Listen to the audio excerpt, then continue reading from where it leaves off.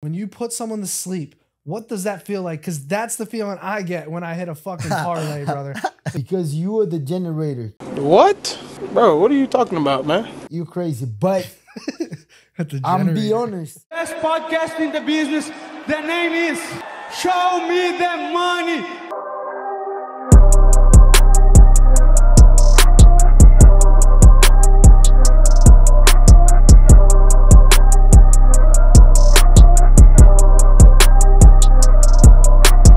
Welcome back to the Show Me the Money podcast. This is episode 21. And where the hell is Moicano today, bro? the first time I, I hit a $23,000 parlay this past weekend, and Moicano has the audacity to not show up. Every weekend he tells me, yo, bro, just put 10,000. Put 10,000 on this guy. Easiest way to make money. What did he say this past weekend? Put 10,000 on who? Tybura. he said put 10 bands on Marcin Tybura. Now, luckily I did not put 10,000 on Tybura. I did bet him as a dog. I did like him. I don't understand it. I thought his I thought he's high level grappling for the heavyweight division. I never have you ever in your life seen a heavyweight get armbarred like that? No, I think I think the guy did a great job. That was a beautiful arm bar. I think that was maybe the second armbar on heavyweight division or something like that. Something like the that. Fabricio so- Verdungo one. yeah.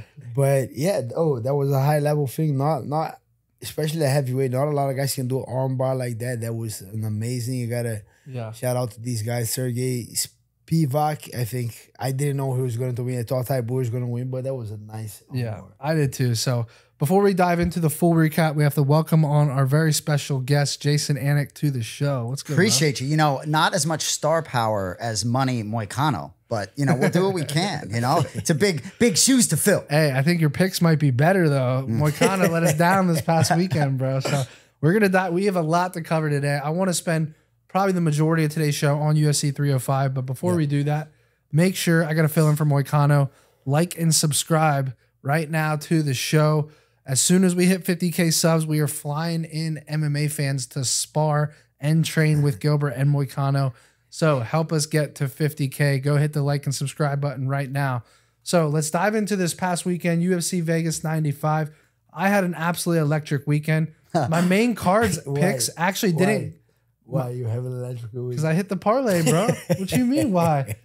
This is this is the life. we- this is the life I live, This bro. guy, It's, it's highs and lows. He won the gambling. Oh, that was an amazing weekend. he, he- he's all about the results, you know. I used, I used to be like that, you know how on the way, I used to be like that. Like if I train good, I have an amazing day. If I train bad, I was uh, like But now mad all day. But now you're just even keel. But now I'm like, uh, if I train good, it's like a little Yeah. okay, it was good. But it's still like, oh, if I train good, okay, no problem. But let me ask you fix this. this, get better here. If I train bad, that was a bad day. I need to rest a little bit more. I Gotta fix this, and that's it. And the motion is there. It doesn't carry hmm. through my day. You yeah, know, but good. no, no. But I'm so guys- glad. Hold on, bro. I'm so glad you're bringing this up because I've been meaning to talk about this. Okay? okay, okay. What does it feel like when you knock someone out or make someone tap in the octagon? When you put someone to sleep, what does that feel like? Because that's the feeling I get when I hit a fucking parlay, brother. So tell me right now, what does it feel like when you knock someone out? That's the feeling that I got. How do you know? Right. How That's do my you guess. know? That's my best guess. Tell How me if do I'm you wrong. know? Tell me if I'm Uh, wrong. though. no, no, no. He's nice. When you go out there and get a finish, it, it is a great feeling, great boost of adrenaline. He, he goes super high. I think that's why, honestly, a lot of guys get cut Yeah. with that. Like I think that's. I'll be honest about that right now. A little. Let me switch that a little bit. I think Tony Ferguson and a lot of guys that kind of going downhill and still chasing. They're not chasing. I don't. I I I don't know. I guess they are not financially on the need of that paycheck. Yeah. But I think the mental health they they need that adrenaline, especially uh freaking Tony Ferguson. He used to like Yeah. remember those photos. You remember No when doubt. he, he was in Destroy a row and they show a photo before and after. Remember that after everybody was messed up. I think those guys are on that feeling of, and I think that's the not a good feeling that the fight adrenaline does with you, and also the gambling does with you, because you are the generator. You're crazy, but At the I'm be honest. You financially on a good place that you, you have amount of money that you can play safe. You don't go too crazy. You don't go downhill. But that's why I don't like bet that much because those guys Yeah. go beyond and they need that feeling of winning and they chase. You said Yeah. that that like No, you no, don't bro. chase. I'm telling you. I know. I know. We can joke about this, but I'm being dead serious. I really do believe I can relate to what you just said about Tony Ferguson, Yes. or you, or anyone. You're chasing that that shit, and you're also trying to prove the doubters wrong. I'm telling you right now. This past weekend, I've hit bigger bets in my life than 21k, but this weekend, that winning bet meant so much to me because all these little keyboard peasant warriors on the social media. I just wanted to stick it to them. The same way Tony Ferguson probably wants to win a fight and tell everyone to go fuck themselves. See, Like, I won't. yeah, like I'm telling you, I can relate to this shit so much. Obviously, it's two completely different, you know, topics, but it's the same. It's the same concept. I really believe that, and I know that I know that feeling of wanting to chase something, wanting to hit something, wanting to prove people wrong, or just feel that rush, feel that mm-hmm. adrenaline rush. You know, But you know, like fighting and getting to that level, you've even heard Volkanovski talk about, you know, there's a fight and not he doesn't have a fight on the books and almost like, what the hell am I going to do with myself? And I think he was Yeah. drinking a little bit before that rematch with Islam. feels you feel empty. You're Yeah. like, what, what am I doing? Like, even Dustin, Dustin Poirier. Shout out to Dustin. We love Dustin, but you know what? I need a date. I need a date. I think Exactly. when you need something like that, that you like, you are unbalanced in a couple things. You know what I mean? Like it's something that you that is not right. And if you need, go go there and get help on that. You know, go see a psychologist, go see a pastor, go go find and get balance because is the the best feeling is for you to want to you know what I want to fight. That's different. I want to fight. I love to fight. So let me get another fight.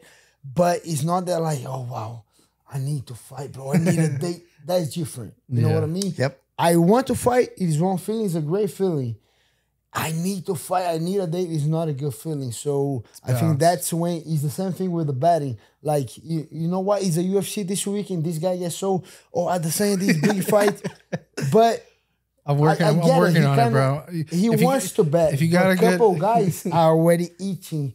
I need to bet, and, and they lose, and they they lost, and they go to the casino chase that win back, and then they go downhill, bro. And then the rent money, and then Yep. that's Right, why like And then you're sitting at a table eating a fucking bucket of ice, right? You know. and he calling Pat Downey, hey, down. hey, I want you to know, since you talked to Pat Downey, I remember you came to me and said, "Yo, you can't hit up Pat Downey to go to Hard Rock. He's training." He hit me up twice since then, asking me to go. I told you there's two sides to every story, bro. I'm And just you letting you said, know. and what you said? No, don't. Oh, of I'm course I going. said yes. You guys end but up the going. thing is, is he he lives next to a casino, bro. He's going with or without me. He's fighting this weekend, bro. No, no, no. He no, not this was like weeks ago. this was weeks ago, not like a couple days Oh ago. But, my god. but yeah, he's he's fighting in Vegas uh, at the CJI this weekend, bro. He's a two. He's a two or three to one underdog. I gotta get your opinion about his first round matchup. It's a Oh, little bit off script here. You see who's fighting? Look, Rockhold. first yeah. round. So Wow. plus two hundred underdog. Is Pat a live dog there? It is, but it's a tough fight because Luca can play bottom very good. That that's the only Yeah. concern. But I saw Luke Rockhold is training. He's training a lot of high level guys. He's going to check Matt in the in the California, training a couple high level guys. So take down Pat Downey will smash. Pat Downey is gonna take him down for sure. If he's able to do the in and out game, what's the in and out game? When you play a grappler, that the guy's gonna be on bottom. You cannot punch the guy. You need to get on his side control. You need to make a point. You gotta try to sub the guy. If Pat Downey is fresh, take take a look down and score boom two two points. It- and they're gonna count like an MMA count. It's not gonna be actual the wrestling or grappling points. It's gonna be a 10-9. So if Pat Downey take him down in pressure, it feels a little uncomfortable. Step out, step in again, make that game in and out game. Boom! I think he's gonna score. He's gonna win a couple rounds, and then is the best thing because then if you look at Rockhold, start getting uncomfortable, then he gotta open up and chase him more, and then that's the chance that uh, For sure. pat down the gas to get a, about uh, on the good positions and won't by decision. I don't think he's gonna be a finish on that fight. It's not an easy match, but he for sure he's a live Yeah. dog on that fight. I'm betting on him, bro. You know, Of course me. I bet on all my friends. Yeah. I bet Oh, on all my sure. friends. He's, I'm bet on him. Yeah, we knew. we knew, right, Jason? We knew it. Exactly. All right, well, let's move on. I don't know how much of the card you guys got to see this weekend. It was zero? it was talked about as being one of the worst UFC cards of the year, but I will say, based off of that expectation, I thought it per- overperformed a little How, bit. uh, rate that zero to ten. I mean, it's still not good. But I just But think, Gilbert, like if you had action on every fight like this guy, right, where you got money on all these fights, you and I probably can't gamble, right? So I mean, imagine, yeah, I would have some You're allowed interest in to, some. right, or no? Yeah, I probably could. You know what I So- mean? so we I bet- probably we could. betting this weekend. I'd probably be betting this weekend, especially after being on this show. Yeah, uh, hundred percent, dude. I'm so excited. I don't even want to recap But- this past weekend. I'm so excited. But did you for this watch the card this last He- a little bit here and there, Yeah, you know, So and what- I'm and I watch most of them, but here and there, you know, I got a, you know, I got a family like we Me all too, do. You got yeah. sometimes you gotta. Yeah, no, yeah, and, and that was the weekend that I like. I don't have to pay attention, so I'm good. So I was playing. I was playing with the kids. I was having fun. I saw the results on the Youssef Zalal. I saw that he won. That he got a finish. I was like, wow, okay, submission finish. nice finish. That was leg one of the parlay. I, I like he, he he was on the mic a little bit crazy after Yeah, that. I yeah. saw that a little bit. He was funny. yeah, I like this guy a lot. He he actually a great fighter. yeah. And uh yeah, I think that was the only thing that I watched. And So then uh, there was Danny Barlow, massively Oh, I underperformed. He did win on the scorecard. I don't know how much you saw about that fight, but it was not the No. performance the UFC wanted, in my opinion. Like Yeah, I thought they wanted in. This was his coming out party. Yeah. Get a highlight knockout. At least Yeah. inflict some damage on this guy. Yeah. Very close fight, in my opinion. Um, and it wasn't the performance that I think the UFC wanted. The one fight that was very impressive with me was the Chepe Mariscal fight against Damon Jackson. He beat the brakes off Damon Jackson for three rounds. I'm very surprised. That fight could have got stopped a few Yep. times in, in the third round. I don't know if you saw that. Yeah, I did see that, and I guess what he didn't make weight, which I think is going to be continue to be a little bit of an issue. But great performance. You know what? It's like a card like that that's not great on paper, and then you did have people like me sort of tuning in for Barlow, and then that disappoints. you Yeah. know, so it's uh, you know, when when when the couple highlights are sort of eh, you know. But Right. Chepe was impressive. But to me, the fact that the fight wasn't all that competitive, I'm looking for a more competitive. fight. Yeah. No, I agree. I agree. And he wasn't a huge favorite. He was, I think, a two or three to one favorite in that matchup. Um, Damon Jackson was a dog, though, man. He was hung in there and he was tough. I thought it was a little closer than the scorecard, especially er, it was like 30 25, 30 26. Early on, I think the first round was a little, I don't know, but You hyped me up a lot on that guy, Danny Barlow. I was start looking, but yeah. something happened. He might was a little bit injured before. I think something maybe mentally Right. pressure. He didn't. I saw that he he didn't pull the trigger. You know. He, Yeah. The guy was kind of taking. He was kind of watching the guy too much. He, and when I saw his highlights, he was letting no go. He was just. Right. This time, maybe it was a little bit of pressure. People start putting a lot of expectation on the guy, or mm-hmm. maybe a little injury, Maybe, but I think I'm almost sure as a fighter, I know something happened with this guy. Maybe a little pressure, mm. maybe injury, maybe a little thing. He was overthinking too much, but yeah. he's a good fighter. Yeah, I'm with you. And then the main event, this one was unbelievably confusing to me because there was a legitimate argument before this fight happened of who's the better grappler out of these two heavyweights. Marcin Tybor is very well rounded, good takedown defense, good grappling. He got Tuivasa out of there in round one with his with the rear naked choke. I cashed on that submission too, by the way. So I don't always lose. I sometimes hit these long shots. Um, but I didn't know who was the better grappler going in this fight. And I looked at the fight as Tybura has good takedown defense and is probably a little better on the feet. And that's why I ultimately went with Tybura as the plus 130 dog. He ended up losing. I went to the bathroom in the first round, came back out, and Sergey Spivak was celebrating. I was like, what the hell just happened, bro? And I had to rewind the tape and and then I rewound I rewound it and I was like confused because like Tybura was winning, but then he just got armbarred, and I was just like, oh my god. So that was a very confusing fight. Gilbert, what do you make of uh Sergey Spivak versus Jailton Almeida? I kind of like that fight.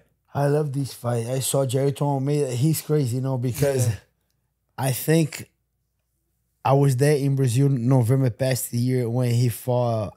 He's supposed to fight. I know uh Derrick Lewis got the fight on short notice. I don't remember who he was fighting. Who Almeida? Yeah, who's Almeida was he supposed he was scheduled to fight a heavyweight in Brazil? Maybe uh, Rozenstruik, maybe no. Um, But take a look. guy pulled out on the on like two weeks, and Derrick Lewis got the fight. Yep. and he was taking him down. He couldn't do much, bro. Brazil, if you get in a finish, they love you. If you're not getting a finish, you Yeah. only grappling, they boo. They I think it was Volkan. I think it was Volkov. maybe it was Volkov. Yeah. I don't know, but if, okay, the guy pulled out, and then he had a crazy hype, especially in Brazil. Yeah. After that fight, bro, they kill him. Like, Yeah. they kill him. Do you think? It's interesting. Do you think that Sergey Spivak is anything for Jailton Almeida? no, though? that is an easy fight for Almeida. Because yeah, I think it's a bad matchup for Spivak. I think Almeida knows that, which is why he's pushing for that fight. yeah, and it's kind of like everybody's schedule on that, right? We Yeah, got that's true. We got Jose Rozenstruik take cut man versus Tuivasa this weekend, and then we have uh uh Siugani got a fight Volkov, Yeah. and then Tom Aspinall oh, is too much ahead. John Jones there with Stipe.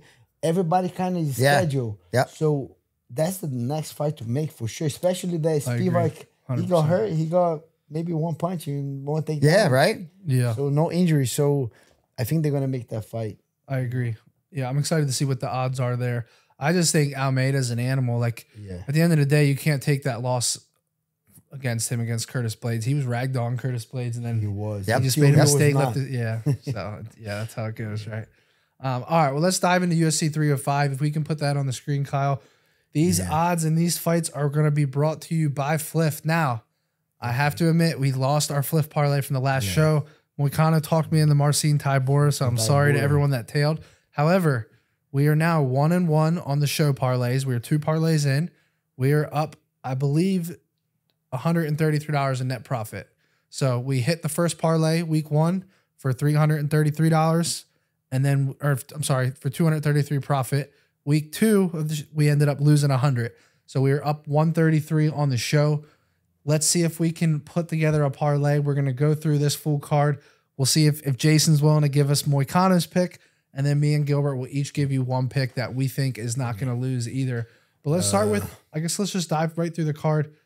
Yep. Uh, early prelims. Or let's click on, is this prelims or early prelims? That, no, that's prelims. Early prelims, yeah, that one there. There we go. Uh, couple fights that are like a little hard for me to pick because we got that Chinese guy Song Kenan. Song Kenan, yeah. Say that again. Song Kenan. I I I did it Moicano. Song Kenan. Uh, so this guy, I saw him when he fought Ian Garry. Yeah. Remember Ian Garry pissed him up, Right. But Yep. At one point he ate a. Remember Ian Garry Yep. ate a left hook and he was down kind of like a little bit. Yep. And the, you know the crazy thing about that, people have no idea. The crazy thing about that fight, this guy was gonna do the camp here after that fight. Yeah. So he came to America. He fought Ian Garry. He was on the gym Monday. So do Ian Garry. These both guys at the gym. No he way. Kinda, yeah, he kind of took a week off because he was all messed up. And the next week he was pointing already. He was training. Ian Garry was training again. So that was kind of cool to see it because they fought, and I I had no idea that the guy was gonna come to the gym. And then they fought Saturday, and then we're kind of so yeah, yeah, you piss the guy up a little bit. And then I look to the side, the guy walking in, and like, oh my god, like what's going on? So, and very nice guy, man, worked very hard, and mm-hmm. sometimes MMA very is very cruel because this guy works so hard. Yeah. I, I he he won my respect, you know, because after one week his face was good. He was back in training. He put on a crazy amount of work, but he's fighting Ricky Glenn. How how's that odds? Uh, yeah. So, so Song Kenan is the minus 225 favorite on Fliff. okay. Uh, and I think it's a good, I think it's a good fight for him. I think it's a good bounce back fight. The Kevin Jousset fight is a tough loss, but he went the distance. yeah, yeah, yeah. Um, you know, Ian Machado Garry, no, no harm in you know losing in round three to him. Um, he you know, he beat Rolando yeah. Bedoya. You know, I think this is a winnable fight for him. Um, Okay. Obviously, the odds. So you know, got him. You well. got Kenan. You got some Kenan on that. Yeah, I'm gonna go. I'm gonna go with Song Kenan there, just as a show pick. Kenan. Yeah. And how about the next fight? How about these these other fight? Um. Yeah. So that's so Tom Nolan is like. I will say one thing here. Okay, Tom Nolan is a 15 to one favorite. Yeah. Jason. Wow. 15 to one favorite, and Dominick Reyes' brother here. Is Oh, he's Dominick Reyes' brother, Right. Alex Reyes. Is he really? Yeah, that's right. He is. Yeah, he is. I Yeah, think so. doesn't look a ton like him, but he is dumb.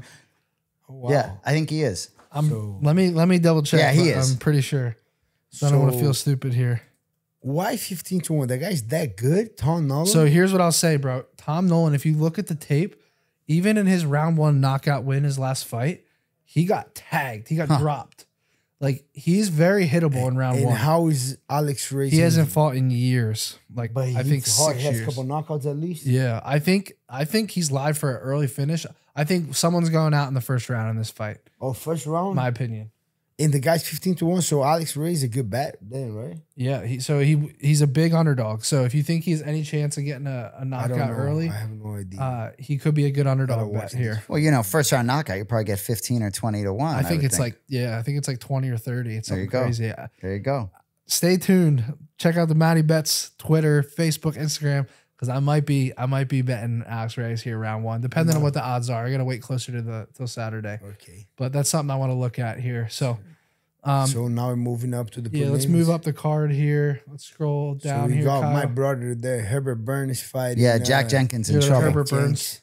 So that was that was boom. My brother's coming to a lot of to a very hard moment to be honest. He had a shoulder injury, two LCL surgeries back to back, and uh, last fight he lost by TKO. No confidence going to the fight, like a lot of uncertainty, and then come from three losses, bro. So he must win. That's Yeah. he's and I like he's gonna be hard because he cannot be partial in that fight. So it's my little brother. So he must win this fight to keep his his job. You know, if he loses, we know he's out. He has no chance. Right. So the last I, I talked to him yesterday night. Uh, the timing difference, they twelve hours ahead. So he's he's fighting eight a.m. on Sunday there. So it's gonna Wow. be kind of eight p.m Wow. uh Saturday here. So he's kind of like acclimating. He's waking up like 4 a.m. So staying awake, walking a little bit, then do warm up, training at that time, take a nap, then training again. So it's kind of acclimating very, very good. But Jack Jenkins is no, that guy has a good heart. Couple crazy uh, Yeah. leg kicks, hits hard, durable. I man, for sure. I'm, I'm. I hope my brother wins, but it's gonna be a tough fight. Yeah. But the the conversation that we had before he leaves to the fight is, bro, make sure you let everything on that cage, you know. So Yes. hundred percent, Hundred percent. depends on the results. For sure, you can go your way, you can go, Yeah. you cannot go in your way, but make sure you don't leave nothing inside. Oh, I couldn't do that. No, do everything you can, Yeah. and, and you're gonna be fine with that feeling of when you lose. If I gave everything, I'm fine with. So Right. make sure you let everything on the cage, Yeah. and I hope he wins, but a, a tough fight. Now I will say, so Jenkins coming off of that arm injury Yeah. back in 2023 against Chepe Mariscal, and he ha- Jenkins has been submitted twice, bro. He got submitted back in 2018 by rear, rear naked choke and 2017 by an arm He bar. has he has any stats on his takedown defense uh, I can pull that up on. Let me try to pull that up here. Because if I bro, I have two brothers, right? I'm the middle brother. I have Herbert and I have Fred. My my older brother Fred, great jiu-jitsu competitor too, Navy SEAL in Brazil, Wow. Marines, uh, black belt in judo. But Herbert has the cleanest jiu-jitsu from the Yeah. and I have no shame on say that because he was always more technical, always super slick. I do believe if he gets the fight to the floor, it's about a time so that guy catches submission. Is that uh, good? But it's a problem on, on Hey, the I love me. I love me a good submission prop, bro. I'm Gil, how's his confidence going into this one? we bro, it's your last shot. Make sure you give like that was the conversation. It's your last shot. Don't don't put a lot of pressure. Don't and I make that degenerated gambler thing that we talked Mhm. about. Yep. You don't need that win. yeah. If you if if you got fight from the UFC shit, you, you have your own gene. He's doing good. You can fight all the shows. Don't worry about Yep. it. You don't need that win. But you need to have a desire. You need to want that win. If you want that win, it's a different feeling. You if you need it, it changed the Make it tight. Oh, oh, Yeah. I need. Yeah. Oh my Yeah. god, I need. It's too much. But okay, I want that. You know, Yeah. I'm Yep. gonna fight. I'm gonna give everything. So that was our conversation. I think he's going kind of free to the fight. He's looking good this week, but that doesn't mean nothing. The only moment that means is when he step in the cage. Then when Yeah. I look at his eyes, I think I'll be able to read. Okay, oh, it's gonna be a good night, or like, Yeah. oh my For god. sure. So because this the fight week, I've been around so many fights: Vitor Belfort, Cesar Ferreira, Vicente Luque, uh, Rashad Evans, Tyrone Spong, and going going so many other guys. Kamar Usman. I'm being honest with you. That fight week, there's a, we, we saw we talked to Jamal Hills, crazy confident. Oh, we yeah. talked oh, to Oh, yeah. Jean Silva, crazy confident. You know it's crazy though. It doesn't mean nothing. When you step in the cage, I Yeah. want to see your eyes because if I if I ask you, hey Jason, how you feeling to fight this dude, and then you sitting down on the couch, with the camera, comfortable, having a drink, you say, bro, I'm super confident. Okay, Yeah. the guy's in front of you. First round is going, it's not going your way. You're kind of having a rough start. You're not feeling Yeah. good, and the guy's kind of you're getting heat. You you're not feeling. Yeah, I want to see your response to that. You know that in that Right. moment, I want to ask you, hey, how you doing eh, right, Right. now? You Yeah. know, not not right now. Right now, I'm feeling great. You know, but Yeah. we're gonna see. hundred percent. I think we've also learned though from the the variety of show guests we've we've had, there's a difference between delusional confidence Yes. and like a strategic confidence, like matchup type of confidence. Yep.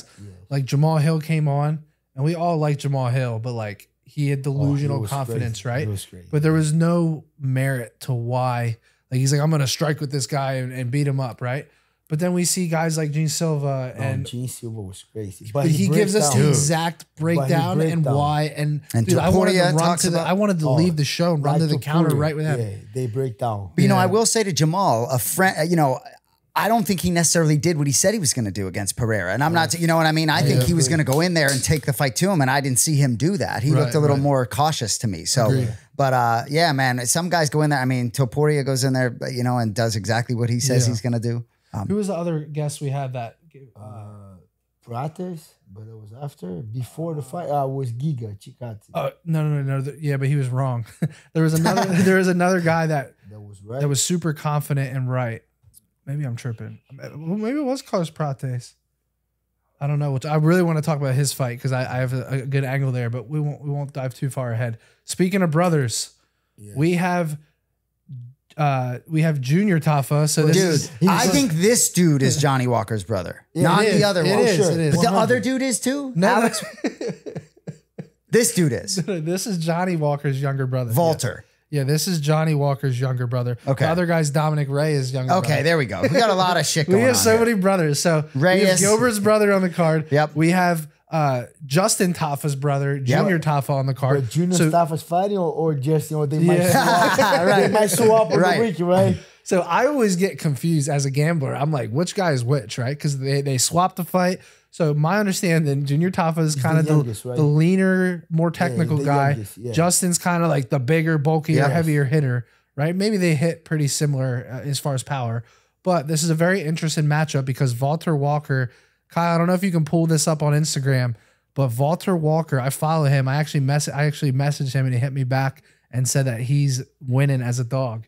But if you look at his transformation, Gilbert, I want your opinion on this. His last fight, I think he fought Lucas uh, heavyweight, Lucas Brzeski. Uh, Yeah, that sounds right. he and he lost a decision, right? Which hasn't aged that well because he went out and got starched in his last fight. But my point is, Walter Walker, incredible shape now.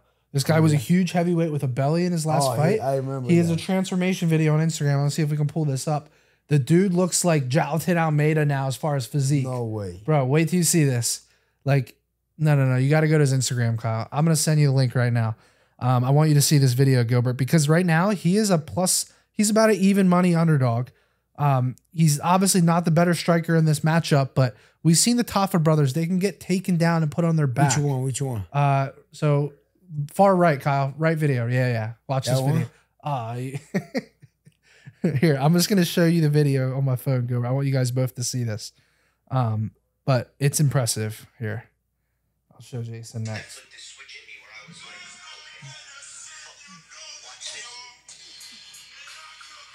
His whole belly's gone, bro. Oh wow. He's a heavyweight. He looks like a light heavyweight. He's six six too.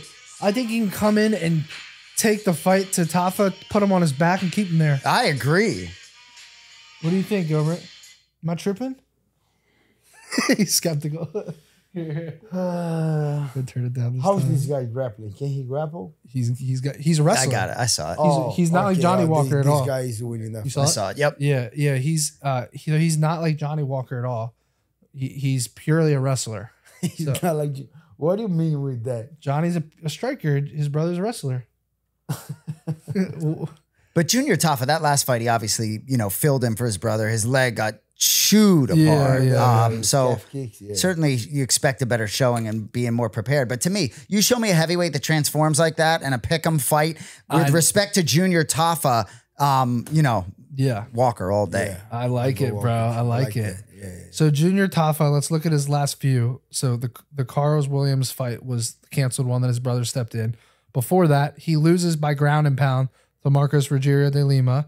He beats Parker Porter in the round one. Okay, uh, cool. Yeah, right. And then he loses to Mo Usman. That was a fight where he was tagging the shit out of Mo Usman, and Usman grabs on and just takes him down. I don't see why Walker can't do the same thing I here. think he can. I actually think that maybe if he wears him down enough on the ground, that that ground and pound late is there. It Could be live. tonight. Remember from these guys. Remember from Gino Tafa one fight that we got so mad that he was actually hurting the guy, tagging the guy, and winning. Yeah. And then he got taken down. And then he got taken down the last round. and remember that he gave that like he got taken down the last round and he was give that like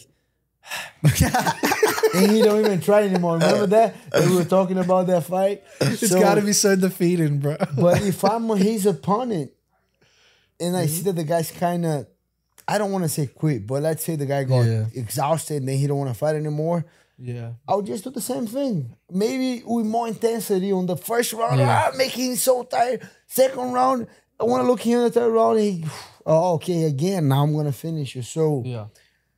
I think Valter can do that. You know, if you say he's a wrestler, he looks Yeah. in the. I mean, for me, I think he looks good, but for you, he looks like amazing shape. Whoa, I'm talking. I'm talking about relative. I'm talking about relative to his previous body, bro. You see how big he was? I'm just kidding, bro. Yeah. You just like uh, you just fell in love with the guy's body. Look at his body. I fell in love with a plus money underdog that looks in good shape, bro. That's all I, like- care about. I like that. I will like say that. so. I- Walker I- is 11 and I one. that. He's 11 and one in his career. uh, he's coming off of the loss, but I think that was the loss that he needed to now get in the right mindset and get in shape and you know try to create a UFC career because he's only in one fight in the UFC prior to this. So, all right, let's let's move on. Uh, I like- I that like- that number, by the way. If you guys want to get some action on that fight, click the link in the description. You can get 25 bucks in free coins on Fliff. He's plus 105 right now on Fliff. I think most sports books, he's like even money or minus 105 right now. So go click the link. If you use code show me on Fliff or just click the link in the description, you'll get some free coin to get some action with it. UFC 305 this weekend. Go ahead, Gilbert. Uh, so going to the to the main card, I love this fight to open the main card. I think it's gonna be a bang. You got Lee Jilly Young, The Leech. back, the Leech against Carlos the Smoke Prates. Yeah, smoke him. so it's gonna be a good fight. To be I honest, love this fight, bro. I love this fight too. But Lee Jilly Young, we trained with him. He came with a. Says the guy's Kenan Song Song Kenan. Kanan, Song Kenan, yeah. Song Kenan, when he came to the gym, Leech brought him, so Leech was that you Uh, Leech is a great fighter. Sometimes he shows up, bro, unstoppable. yeah. When he beat Zaleski, when he beat couple guys, he was just like, Yeah. bro, like crazy. The only thing he's not that consistent showing up that way. If he was, he'll be a problem because sometimes he shows up and like he don't get hit. He moves so fast. Good footwork, in and out, hits hard, can't get hit. I, if he comes that way, he's gonna be a bang. If he comes on his best, he's gonna be a bang. If he comes, if he shows up not as good, oh, he's gonna be a problem for him because Carlos Prates, he lived for five years in Thailand. The guy has a great striker. He's a sniper, Yeah. and he's with all that hype from this guy from from Fight Nerds in Brazil. Those guys are break Yeah. crazy. They break you the whole down. They they're all here. They train strategically. They're very good. And these guys are a sniper. So if Lee, if Lee shows up, monster ready, oh, it's gonna be an amazing fight fight of the night. Yeah. But if he comes a little Rizzy 10, if you don't, yeah, then Carlos Pratt is going to take the best out of him. And he's a significant underdog, the Leech here. But Yeah. it's, do you like the fight from a gambling standpoint, or you like it just? uh So here's the thing: when you peel back the curtain on this fight, like the Leech has never been knocked out in his career. He's been subbed. Like Hamza, obviously, you know the infamous Hamzat fight when he picks him up and grabs him, moves, walks him over to Dana White and, and chokes him out. That was insane to this day. But the, you know, Carlos Prates isn't a guy that's gonna you know implement that type of game plan, right? I could see this being a very low volume affair. Hmm. You know, Prates is not very high volume. He is, like Gilbert said, he's a sniper. He can knock anyone out. But if this goes the distance, I don't know how judges are going to see this fight because it could be very low volume on both sides. It could be guys being very cautious, you know, in the striking exchanges. And I just don't know how I like this fight. I, I was looking at the odds. I mean, Prates is a three to one favorite. I think that's more just about how how well he's performed lately and the fact yeah. that the leech has been off. I think a couple of years, right? Yeah. The Leech hasn't fought since since that D Rod robbery. I was in Las Vegas, September 2022. Wow, You know, we were just talking about before the show, me Yeah. and Jason. We were just talking about. Jason was saying, if you bet on fights, you remember the exact details about how you won or lost, and you remember more about fights. We were just talking about this before you got here. I was standing at the Circa Sportsbook at table three, sitting there. I had money on the Leech against Daniel Rodriguez. It went to the scorecards, and they fucking robbed my guy, the Leech, and gave the nod to D Rod, bro. The Leech won that fight. Do you remember that fight? Tell me you remember that fight. Not like that. Not like that. I don't know where. right, exactly. I don't know where I was sitting. I was watching. Table three. Uh, that was that was a pay per view. No, It was uh it was D, it was Diaz versus Ferguson. I wasn't there 279, because it used to be- 279. Used to be Hamza. Two It years. used to be Hamza and Diaz, Yeah. right? But they And robbed then- the Oh Leech, yeah, yeah, yeah. They robbed Okay, him now bad. I remember that fight. Now I remember that The pro- fight. yeah. yeah. the Leech won that fight clear. I remember that. There fight. we go. Ah, Leech won see? that fight. I knew Gilbert got he, my wa- he back, did the bro. camp with us. he was doing a lot of southpaws, a lot of boxing. Yeah. Oh, he won that fight. Yeah, and he- won. So in They- your they- memory, why did he lose a decision if it was that clear? because the refs bet They the other side. The judges bet the But other D, side. D, I know, but D Rod was kind of chasing him forward, and he was moving a mm. lot. It looks like yeah. Rod, D Rod was putting pressure, but he was getting tagged because Yeah. yeah. Now remembering this fight, if Leach shows up, that Leach that fought Daniel Rodriguez a little bit better, he can give a lot of problems to Carlos Prates. I was just thinking right now because Carlos is a sniper. He don't throw a lot. If Leach is in and out, touching, don't get touched, touching and move, touching and move, is gonna be a problem for Carlos Prates. But again, he's inconsistent showing up like that. If he doesn't show up like that, Carlos Prates is gonna put that guy to work. Yeah. It's a good fight. I'll, just, I'll tell you one thing that might hit be on my betting card. Prates by decision is over three to one odds, hmm. but him by knockout is like minus one thirty. you're gonna throw. You take you're telling me I can get a guy by decision against a guy that's never been knocked out before. That makes a lot of sense to me to take that that Yeah. number. I'm getting a three to one favorite, and I'm reversing it to a three to one. You know, plus a plus three hundred odds like on the decision. math. So I might I might look to look to bet on that. Even though I really every Carlos Prates fight, I just want to take him by knockout. That's, that's what I want to default to. But I'm looking at it. I'm like You're the gonna sprinkle something in a knockout for sure. It just doesn't pay well. It's minus one thirty. For knockout, That's what I'm saying. The decision is oh, three to one odds. okay. Well, but he'll have him knock out in rounds one, two, and three to juice it up a little bit, right? Yeah, maybe two three, two three. Jason. There you go. read who's the next fight. Just read the name. Read the name, please. Kyle, some nice work. Tai Tuivasa versus Jairzinho Comentate. it's gonna be a good fight, too, right? I love it. Dude, I'm so Rosen excited for strike this replaced with Cutman Tate. Yeah, they do have a little resemblance, you know.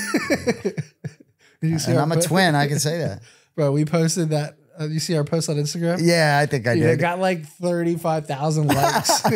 we posted Jairzinho versus Tuivasa, or uh, uh Cutman Tate versus Tuivasa. It was hilarious. No, and the What? other one too, the the Jacobs Du Plessis brother. That one was Du Plessis so reposted it on his story. You saw that or no? Yeah, No, I didn't see that. You didn't see that? So that was so a, funny. a graphic of Du Plessis' Duplessis and brother Adesanya's brothers and Adesanya's fighting brother. No, that was, was so great. funny. This one here, bro. Show him. This one was. Du Plessis brothers are tough though, man. Yeah, yeah. Oh, I give me Du Plessis' brother. Yeah. fight. Oh, you want to fight his brother? We can set that up, bro. you Easy. get Adesanya's brother? You want to Desailly's brother, or Du Plessis' brother? No, not me, bro. I want to bet No, on you, it. you, you, who? I want Adesanya's brother to fight Du Plessis' brother, and I want to bet the farm on, on Du Plessis' brother, bro. How much but- you weigh now, Matty? How much? What? How much you weigh now? Guess. I'm two. I'm two thirty, bro. Two thirty. Yeah. How much the the the? If I fought, I would have to get down to 185, right bro. I can't be fighting these light heavyweights. how much MMA Guru weights right now? Uh, he's like six four. He's probably like 300. I don't know. You scared? I would I would put Does him down with a- a body shot easy, bro. I would put MMA Guru. It would be a left. It would be a left hand to the body, and he'd be down. I promise you. What are the odds on that fight? He's Even bigger than you. Yeah, He's MMA Guru. Three hundred kind of. I don't know if he's actually 300. I don't ever seen the guy. We invited him on the He's pod. The tall. offer still stands. Oh, he MMA crazy. Guru. I will get you a suite at the Hard You Rock. saw what he said? yeah. Oh, he gonna hit me. You think? You think I'm a coward? I'm gonna Nah, hit you from dude, the he just back? he's just making content. He yeah, so we invited. This was like our what fourth, fifth episode. Yeah. We invited MMA Guru to come to Florida, wherever he. Where's he live in? Uh, I don't know where he lives. I know I'm supposed to know who this The U- fucking the guy is. MMA gurus. I know the name. right there. there he he lives in the UK, right? Yeah. So he's very viral on Oh, YouTube. he is big. He's a big guy. Look at him next to Du Plessis. Now I have a picture with Du Plessis went back when he fought Robert Whitaker. So you can, you know, I'm around the same size as Du Plessis. But this guy's, you know, massive. Wow. Yeah. But again, he he's not a fighter, bro. I can put him down with a body shot. Are you a fighter? Look at, look at the I- third, I can third box. photo on top. He's with the gloves, bro. Yeah. Guy's been Bro, training, bro. he- look at him. I'm telling you, see the left the, the left hook to the body is, is right there, bro. Yeah. It's right there, Gilbert. Tell me I'm wrong, bro. it's right there. Well, you might But not need to cut MMA to 185. It could be MMA light Guru, your, our offer still stands. You're welcome we to offer come to everything South to this Florida. guy come on the pod. He said, "Oh, I'm not going because Gilbert Burns is my." he said Gilbert's going to choke him out. Yeah. I said, "Bro, I'm not." But he loves coward, bro. Moicano. Moicano asked him to come. We said, MMA Guru, I'll get you an all you can eat buffet at the Hard Rock. We'll get you a suite at the Hard Rock. And we'll get, I think we offered him like 5,000 cash or something. I don't remember what it was. What's the draw? Why? He's why got a we- very big YouTube audience. Oh, all right. And, but he has like Oh, he a go- very engaged, like crazy audience. He Like, Gotcha. go, he go. You never saw his videos? no, is and he's British. Hey, Yeah. Yeah, go- see, I love go- it. Let me listen to You got to. Brits Go all day. watch his video. He's talking about Adesanya dog. or go watch the Jon Jones videos. Adesanya's dog. He's the one that made like the Jon Jones is gay videos like public to everyone. All right. That's what Yeah. started and all the that. Ian yeah. Gary too, with the Ian Garry, with the wife, and Uh, he's very That- that he mainstream, the like drama, but he does picks. He's actually pretty knowledgeable. yeah, no, he he's very knowledgeable. he does the live, how you call it, the live action, The live picks and everything. Yeah, the live picks. that's his channel right Yeah. there. So he's uh he's a character to say the least. I like him. I actually like the guy. I think he's Yeah, I- pretty yeah. funny. I, I would watch- love to have him on the show. I would love to have him on the show. So, all right, let's let's uh, let's continue to break down the card here. We we just talked on the Prates fight. So Tuivasa versus Cutman Tate up next. I got to tell you something, bro. I want Gilbert's opinion on this one because Gilbert is very good at picking underdogs. Tuivasa has lost four straight fights in the UFC, but every fight that he's lost would beat Jairzinho Rozenstruik. Every Fair. single guy he just I agree. to. And this is the first matchup where I look at it and I'm like, this is a 50 50 fight. Why is Tuivasa a plus 190 underdog? He's not going to get taken down. He's not, if he's if he does, he's not going to get held down against Jairzinho. Jairzinho has zero takedown attempts to my knowledge in the Yeah, he UFC. Check me on that. But this is a stand up fight. And I think Tuivasa's chin can hold up better against Rozenstruik. I think Rozenstruik is more technical, can maybe find the angles and and you know, but I just think Tuivasa has very underrated fast hands and he's powerful. And if you look at the Tuivasa versus Derrick Lewis fight is an example here. That was two big boys throwing heat and Tuivasa's chin held up. And I look at this fight the same way. I know I know uh, Jairzinho's a little more technical than a Derrick Lewis, but I think Tuivasa can bring the fight to this guy and get in the win column. I think he's a very good underdog here. I couldn't agree more. I mean, four straight losses to me is the reason the line sits where it does. Yeah. and I look at it as a and fight too. And I think in his home, you know, back back at home too. But Yeah. for me, when I'm a heavyweight fight, and you talked about Walker earlier, physically, you know, I know we sit here a couple days out, but I like seeing these guys physically on the scale. I like, I, I'll be curious to see what Tuivasa looks like physically because a lot of times you can see what work has been put in by these guys. But, uh, you know, a lot of guys, and, and Tu- Tuivasa has faced better competition of late. You know, it's like Jairzinho's one, two, or three, but would he be Gaziev and Daukaus? It's not anything special. So to me, Exactly. yeah, I mean, I think your sentiment is well received by me. It should be a pick 'em fight. So I lean What do you think? Tuivasa. I mean, look at who he's fought, bro. Tuivasa's last four. Now, mm-hmm. again, the Volkov. Marcin Tybura one is a bad look, I Right. think. Especially when Tybura just got finished in the first Or who round. was that? Was Volkov in Australia? Volkov, Pavlovich, Ciryl Gane. Gane. Yep. They're all three beating Jairzinho, you know? So Yep. the question is how much stock do you put into the Marcin Tybura fight? But matchups make fights, and that's not going to happen in this fight. Yeah, this fight's gonna be a, a, a stand-up war. I I kind of like Jerry Zing's defense a little bit better than the Hmm. Thai. Yeah. That's a good point. Yeah, that's the only my only thing is his defense is a little bit better, Mm. but he does get hit, and Tuivasa does hit hard. So grappling is gonna be zero. T- uh, Jerry Zing get a couple good low kicks too, like powerful low kicks. Tuivasa has some big kicks, too. Tuivasa too. I've, that's a good It's a point. 50-50 fight. Yeah. I I I'm a huge fan of Ty. I hope he wins and get the, on this win column again. Don't get cut. That that's my that's my wish. Yeah, we need a couple. Ty Tuivasa and Burns. Yeah. Two wins. Oh, Herbert. Oh, well, imagine what that parlay would pay. you know? Yeah, right? I got to get in on that, bro. Stay on the underdog roster. parlay. the underdog parlay. But hi, I'm a 50-50. We're gonna call that Jairzinho's back to the wall parlay. no, My- that's that point's very well taken. Yeah, Tuivasa is kind of like a little brawler, you know, kind of crazy. He's gonna Yeah. get hit from from Jari Zin. Jari Zin's left hook, he can pull you down. I don't think he will put Tuivasa down, but it Yeah. might hurt him. Right. And he throws those left hooks. That's kind of it's not a wild left hook, so it's not gonna land it here. It depends where you are. It's gonna land in front of your face. But Hmm. he breaks the nose. He broke his nose a couple times. Yeah. Jairzinho has a 47% striking defense to Tuivasa's 43%. Oh, so it's closer than I thought.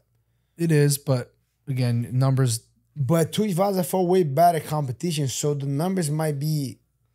go Yeah, better. and your point's well taken. Like I've seen a lot of moments where Tuivasa is not defending himself well and being super vulnerable. Um, even and he's got a good chin. I feel like. he I- does I have a good chin, but the only thing, if his defense is kind of like that, but he didn't fought a better competition than Tuivasa, then kind of like it equals yeah. a little bit. Yep. So with that, I'm I'm going with Ty Tuivasa on that one. Really? Okay. So we all three on the Tuivasa side? I think so. What's that over under one and a half rounds there? Where do you lean there, Maddie? Yeah, I don't want to get uh, ahead for you, but Yeah, so over one and a half on Fliff is minus 170, which is very surprised. Oh, never mind. I'm looking at the wrong fight. I was going to say that number doesn't make sense. So over one and a half is plus 135. So you can get plus money on if you think this fight's going longer than seven and a half minutes. Now, one thing I will say is when you typically have, and Gilbert, correct me if I'm wrong here, but you typically, if you have two guys that are coming off of like finishing, get, you know, getting finished and losing, are they a little more tentative early on? The fight maybe tends to hmm. go a little bit longer than than it normally would. Yeah, but these guys are freaking brawler. It, it kind of it is. It supposedly, Yeah, but not Tuivasa. That's had a couple Yeah. bar fights. These guys don't care. You hmm. know. yeah, for sure is a little bit of pressure on the guys. Okay, if you lose, goodbye. You gotta go one FC. You gotta go PFL. But I don't think he cares. You know, I think he's gonna Yeah. have fun out there. It- It's a different mindset when those guys there. They don't really don't care. They're dangerous. Yeah. You know, Yep. they, they so I think this guy is is still dangerous. I don't think he's gonna be resistant. I think until he fight the defense, he starts. He, Yeah. he gonna throw. He don't. Here's care. what I'll say, bro. If Tai Tuivasa comes out aggressive, Jairzinho Rozenstruik has been finished three times in the first round. Now, granted, Francis Ngannou, uh, Jailton Almeida, Francis and Ngannou, Alexander yeah. Alexander Volkov, though. I know, but Francis Ngannou, yeah, yeah. Yeah, Right. I understand, but if you remember that Francis Ngannou fight, this was like a younger Ngannou That it wasn't the more the technical Ngannou. It was a, he, if you remember that fight, he just he went crazy. yeah, yeah, Yeah. Like it, it was. Oh my god! Why can't whatever Tuivasa do that? Whatever he's Tuivasa is capable of doing that, bro. Uh, I'm going Tuivasa round one, two knockout. That's gonna be on my betting card. I like it. I think I it's like gonna pay too. good too. I don't know what the number is I yet, hope, but I we'll hope see. you're right. So, all right, let's move up the card here. Mateusz Gamrot versus Dan Hooker. I have a very strong lean on this fight, but I want to hear your guys' opinion first. Yeah, I got. I think uh he's a natural fight. We got a long, lanky striker, technical against a high level grappler. And Gamrot is a wrestling grappler and a grappler too. High level. He won ADCC Europe a couple times. I trained this guy, grapple with him a lot. Very, very high level. He just lost to who? Beneil Dariush and uh, who was the other guy? He just had two losses and then he fought everybody. Yeah. Uh, I think he's gonna get knocked down because he always does, right? Yeah. Every fight he get dropped. He got dropped by RDA. He got dropped by Ben New. He got dropped, but he recovers very good. I think he's gonna get dropped, but he's gonna take Dan Hooker down. Even if Dan Hooker has good guillotine, Dan Hooker might kind of die with that guillotine. He's gonna scramble out, but he's gonna be on top. I think Mateusz Gamrot he's, he's winning that fight. We know the betting, the handicappers in Vegas know more than I do, and certainly that line I think is heavy for a reason. I just. As much uh, Dan Hooker, my brother John has talked about Dan Hooker being his favorite fighter, just Yeah, and, yeah, and just that. really in terms of just what he brings. But for me, Mateusz Gamrot, if he does his homework and does what he's supposed to do, Yeah. It, he sh- Dan Hooker shouldn't be able to close that distance. It should it should be cl- in the clinch. It should be tight. It should not be, give it- Hooker any opportunities. And frankly, should be kind of a boring fight if you're Gamrot. Go ahead. And and the point that I have the most on that fight is Mateusz Gamrot is being he was Islam Makhachev for Dustin Poirier during his whole camp, and you see how Dustin fought Right. good against Islam. Good point. So you see what Islam did to Hooker too. Yeah, so this guy's getting better, bro. Yeah. So this guy, even when he doesn't have a fight, he's there full camp with the other guy, helping Yeah. the guy to a championship fight. Even even you saw the you, you saw Dustin shout him out, "Man, that guy Yep. helped me the whole Yep. camp. He was being slang. He did Yep. everything right." After the fight, you saw these guys talk, bro. You saw that little thing. I messed up here, but uh, so this guy's a high level fighter. I think he's gonna boring fight. I agree with Jason. Boring fight, but I think he's gonna dominate Dan Hooker. Yeah. And he lost to Tsarukyan, right? Gamrot. It was a close fight. Some people thought fight. we I, a close fight. think I, he- I think or maybe I he, think he won. won. It was he beat. I think he lost, Yeah, but he won a, a unanimous decision against Oh, Tsarukyan, but it was very controversial. Yeah, I right. think- And but either way, I mean, certainly been in there with some dudes, and Oh, I, you know, 100%. um, I, I think I agree with you guys. I think Gamrot completely ragdolls Dan Hooker for three rounds. Like maybe he can get caught once and he might get caught a couple times. Yeah, bro. but like I But think he he, completely ragdolls Dan Hooker. I think I mean Dan Hooker has an eighty percent takedown defense, but that to me that that's that's a crazy number. Who against who? You know, Right, well- Islam took him down once, but didn't need to take him Finish, down, finish yeah. him. You know, so I think that you know Islam probably has better top pressure and can keep someone down Stronger, better. you right, bigger. But Gamrot can just spam these takedowns. I wanted to ask you, Gilbert. There's like a myth going around in the UFC. It seems like right now that like some of these fighters that are wrestlers physically aren't wrestling as much. We saw it this past weekend. I forget which fight it was now, but oh, uh, the the the heavyweight, the big, uh, who's the heavyweight? Uh, Carl Williams. He comes out and stands. You know, stands. Uh, which who was his opponent? Remind me here. Uh, go scroll up, Kyle. Who did Carl Williams just fight? This not going to past get much weekend? help from me and Gilbert on Yeah. last one. I but, didn't uh, Thanks, guys. bro. I was taking my time. Uh, he fought a, a high level striker. Uh, scroll down, scroll down, scroll down. Why am I blanking on this? I had a bet on it. oh, the Jonathan yeah, Diniz. Jonathan yeah. Diniz. Yeah. So Carl Williams, there was a rumor that the UFC told Carl Williams or his- his manager or something that, hey, your fights are boring. You need to stand and strike. You need to be more excited. Again, I don't know what's true and what's not, but do you feel like that we're in a day and age now that some wrestlers are now like, I need to at least strike for a round or two because I'm gonna get dropped. We see what happens with uh with these fighters and like yeah. And like I just want to get your opinion on this. Do you believe that some fighters are going to go away from their style because they might look at it as Dana or the UFC looks at it as boring? Because from a betting standpoint, you have almost have to take this into account now. Are these guys going to? Carl Williams would have went in there and shot a takedown in the first minute hmm. nor in a normal fight. He didn't shoot a takedown until he got hurt in the second or third round. So I just wanted to get your opinion on that. I think he you still can grapple, but you gotta be excited. You know, you gotta look for the Yeah. finish. I think they never said that to Khabib. They never said that to. I think they've been saying that to Almeida. That's why Almeida didn't got the fight that he was asking. Because that fight with Almeida, bro, the whole arena in Brazil was killing him when he fought Derrick Lewis and Yeah. he couldn't finish. Yeah. And uh, I think i- it's a way to be dominating the fight. Like Khabib never, Khabib was kind of Kamaru too on the beginning before they start dominating everybody. People will always have ah this guy, but whenever they start dominating, really Yeah.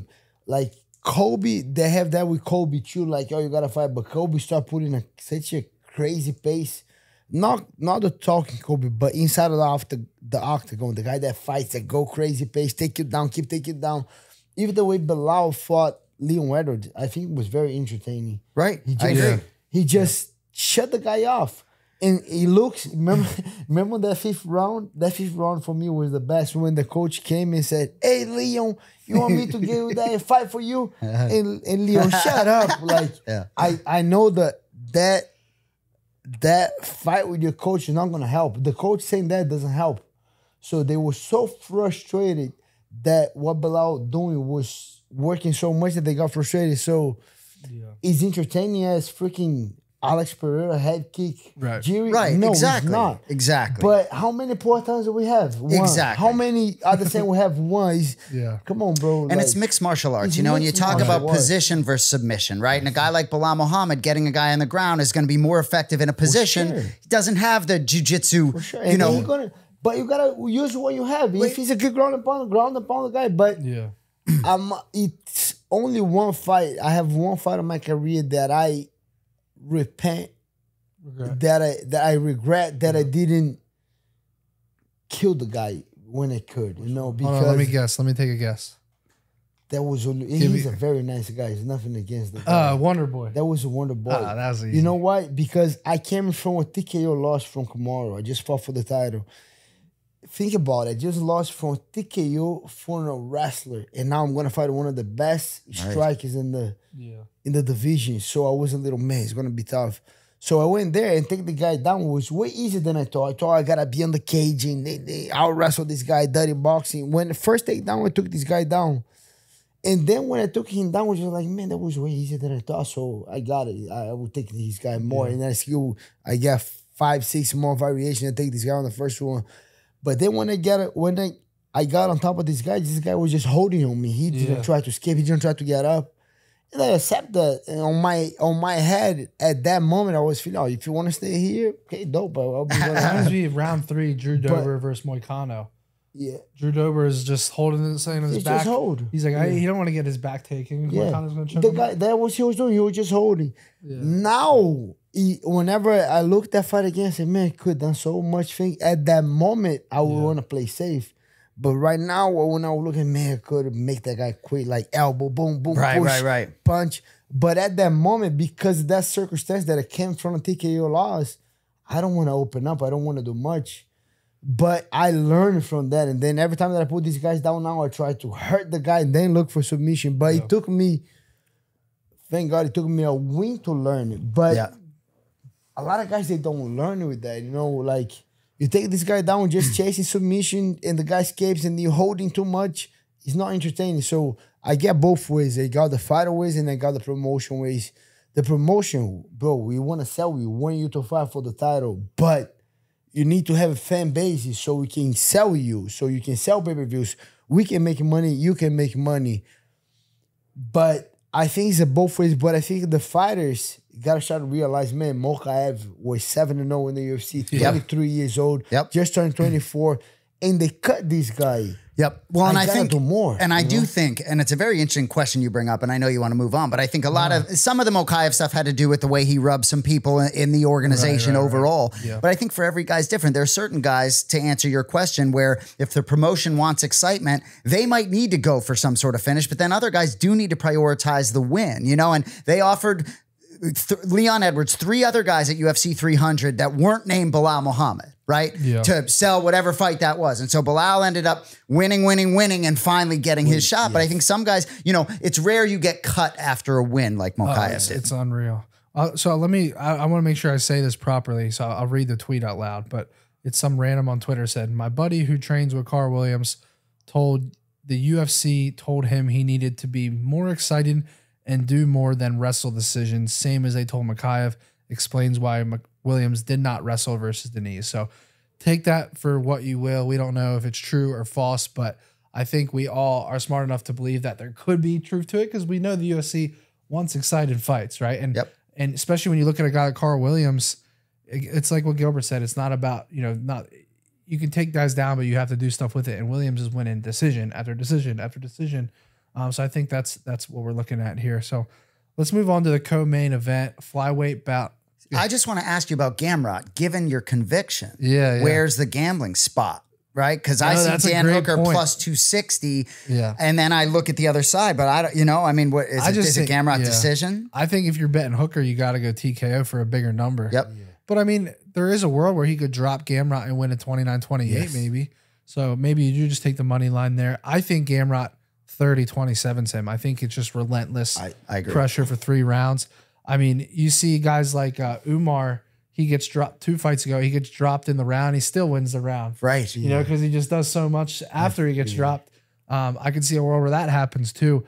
I just think that Gamrot is like the, the worst matchup possible for Dan Hooker outside of Islam. So, so but I think he ragged. He can eat it a knee on the way in. For sure. Then Hooker has a couple great knees. Right. I mean, it's yeah. like you can't eat a knee on the way in. That knee can pull him out. You can yeah. be sure, no matter how much Mataj might like that matchup, he's fucking gonna be careful. For oh. sure, he will. 100%. he has to. Yeah. yeah. Yeah, Dan Hooker, 11 wins by knockout in his career. And you can break Dan Hooker's face and that arm, Jalin and he's Turner, still fighting. I could not believe he survived that Jalin Turner fight, and Bro, he won that high kick with Jalin. Bro, Turner? and then he broke his arm too. I know. And you know he hasn't fought since then. That was and, and that right, and that discouraged a little bit. I do believe that discouraged a little bit Jalin Turner because I he, agree. He came to fight uh Moicano and Moic knocking him down. Moicano get up, and I think he look. Yeah. You know how he looks for me, and I love Jalin Turner. He's my guy, but Remember Deontay Wilder when he knocked down uh, Tyson? Tyson, Tyson Fury. Boom, and Tyson Fury was out, and eventually Tyson Fury wake up from resurrection and came back. and do you remember Deontay Wilder eyes when they look and the guy yeah. came back? Yeah. Oh my god, like that was my best shot. That guy came back. I think Dan Hooker and Moicano gave that look to Jalin Turner. He's like, and he's doing everything right. You just gotta keep yeah, doing. But right. I think that kind of take a little bit. He's like, you know what I mean? Yeah. Give him a little break. He Great like, point. I agree. Yeah. I yeah, I totally agree with you. Jalin Turner. He's a monster. Yeah, he's a monster. But yeah, I mean, we'll see what happens in this Dan Hooker fight. I'm excited to see that one. I think I, I gotta ask one last question to go on that fight because going back to what we were talking about of like you know, trying to do more with these takedowns.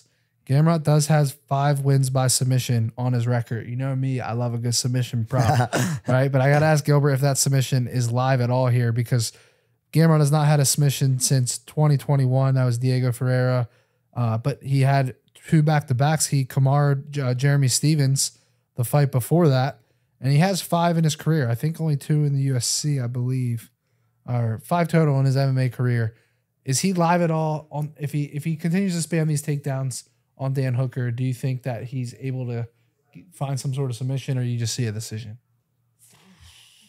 I think on the back, the Dan Hooker has good defense. Dan Dan Hooker understand the guillotine game has good guillotines. Yeah, leg locks. Those guys can do leg locks too. I don't see Dan Hooker tapping unless he's unless he's freaking uh Islam got him Islam Kimura, with the freaking yeah. Kimura. Other yeah. than that, he doesn't tap. So he were yo well, one lost by submission, then hooker. Uh, three. Who so, was that? Uh, it might have been a while ago. It was. Yeah, I don't. I don't. I yeah, don't it was. Get uh, right back in 2012 FC8 Legend FC8. Back in the day. So and, yeah, I think. Uh, Mateusz Gamrot is a very is a high level grappler, but he's not a finisher. Yeah. He's a controller, ground and pound, scramble, crazy. It's kind of like it's kind of like harder when the guy not gonna get tired and he's gonna keep coming. Yeah. It's harder to fight a guy like Colby, like a Merab kind of. Mirabi, Colby, like at, at his best, yeah. Gamrot, those yeah. guys gonna keep coming. You're gonna knock him down. Gonna keep throwing. They're gonna keep coming. So yeah. yeah, I think I don't think he's get a finish, but I think he can get a, a dominant win if he doesn't eat the knee. I think Yeah. I think uh, Dan Hooker is doing that match without trick to f- give him freaking fly knee on the beginning and then put Gamrot out. Yeah, dude. Yeah. I like it. All right. Well, let's move on to the co-main here. This is a fight I'm excited to see because Kai Kara-France, man, I, this is a guy I used to bet on. I bet on him by knockout against Cody Garbrandt. Um, a really fun, exciting fighter. What'd you say? You got that one. Yeah, I got that one. I got that one. Uh, now, Steve Erceg, we all know because Gilbert makes it very clear that whenever we have a guest on, oh, Pantoja, that's who it was earlier we were thinking about. We had Pantoja on, and uh, Oh yeah. the first two seconds of the show, you know, this guy Matty bet against you, right? he just every person that comes on the show, he always Right out of the gate. Yeah, so and I so I It's so took funny, Erceg. his That was a very got red. Oh, I'm sure. I'm sure. Uh, you might be a middleweight, but Pantoja will fuck you up. Yeah, hundred percent. So I get choked out and won in that one. But but Steve Erceg, man, I just I'm a big Kai Kara-France fan, but when I look at this fight, I'm like, where is he better anywhere than Steve Erceg? I just don't know. Maybe power. Maybe power. I think those, those guys being a flyweight, the the intriguing thing on that fight, they're two strikers, so it's gonna be a good fight. And believe you or not, those guys being flyweight, they both guys get a knockout power. Yeah. But with that being said, I think Steve Erceg is getting a win, maybe a finish. We saw Kai Kara-France being finished on the body by Brandon Moreno. Mm-hmm. I think he's that guy that has a great team, but the body's not that strong. And I hmm. think Steve Erceg with the good boxing, good elbows, good movement, super tall for the division. Mm-hmm. He's way taller than than Kai Kara-France. He, so- I think he's gonna look way bigger. yeah, he's way. I agree. What do you? You know, I saw a line Erceg minus 166, Kai Kara-France come back, but it's, It's, it's, it's, it's, ballooned, I think.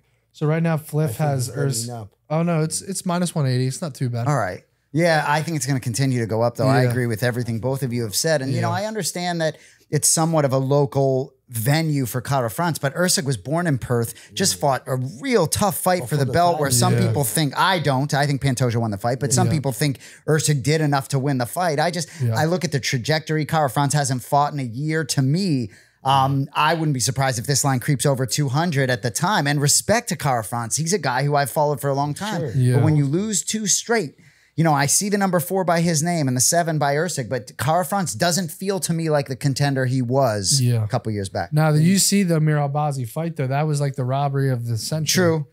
but And, you know, and so- another thing too, those time off that he took, he's like one year layoff, right? Yep. yeah, He had, I know for sure, one was an injury, but he had a concussion. It was a bad concussion. That's right.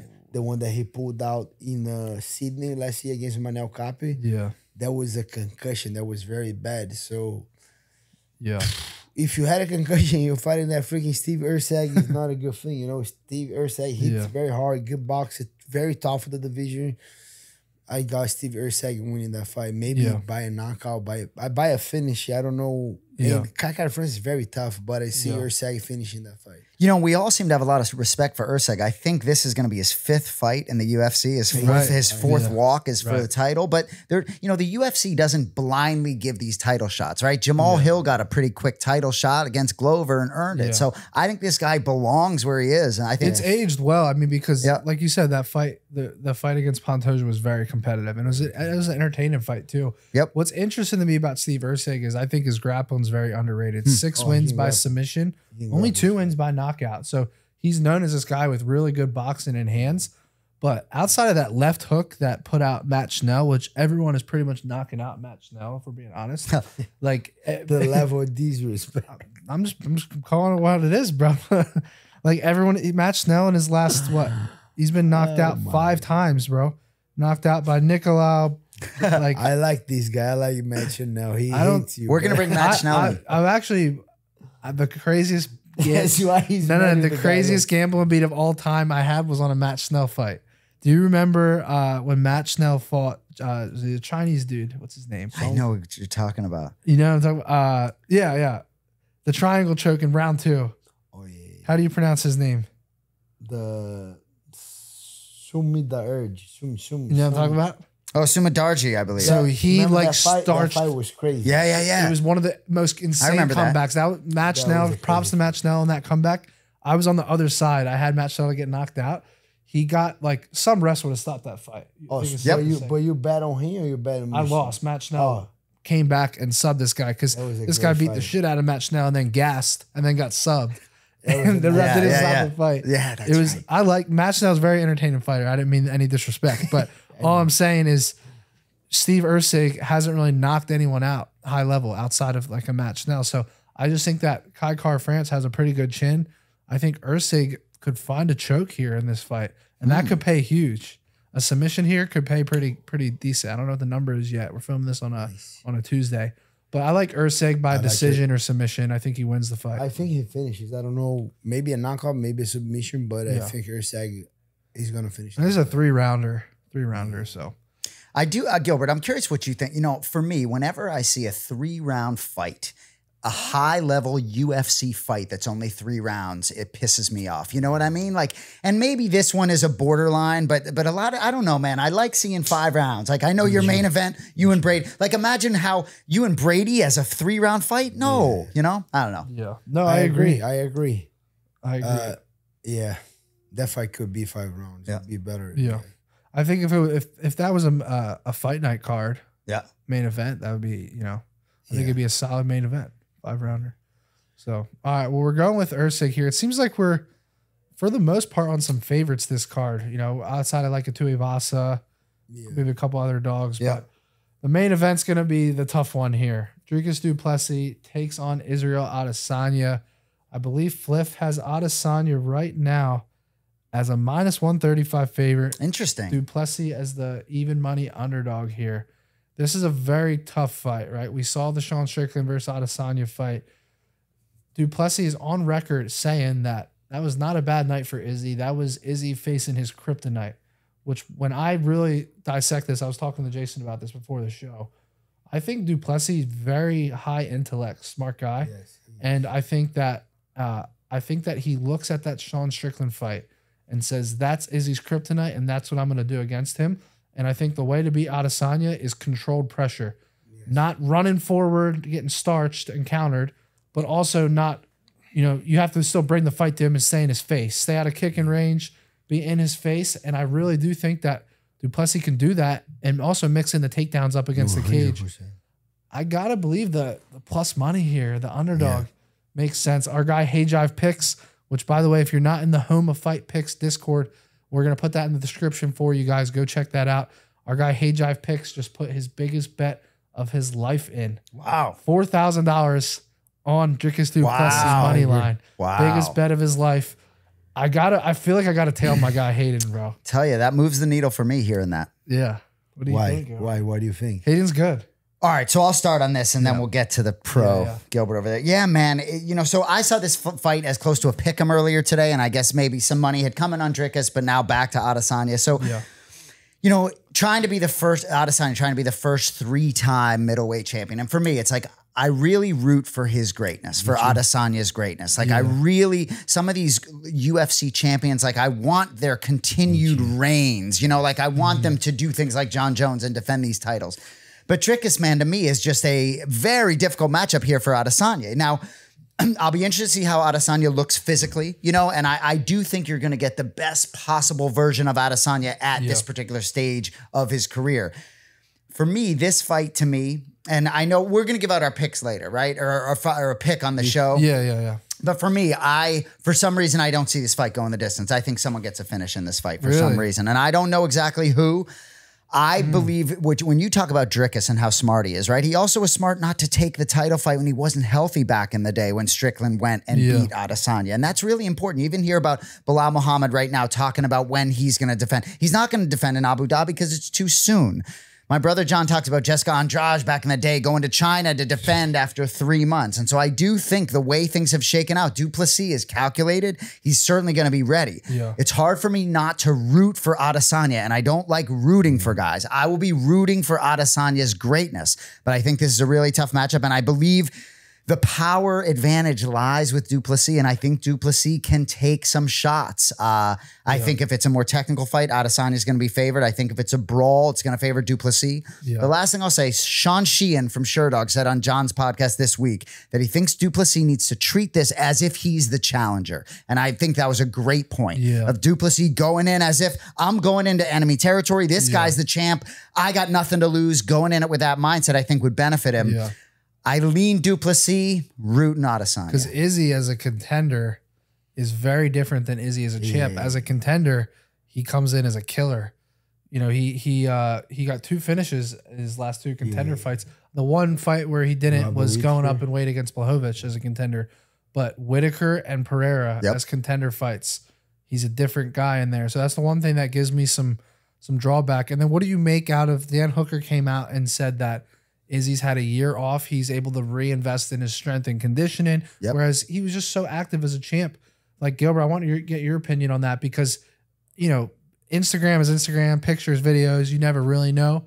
But he does look bigger. And Dan Hooker said he's hitting harder than ever.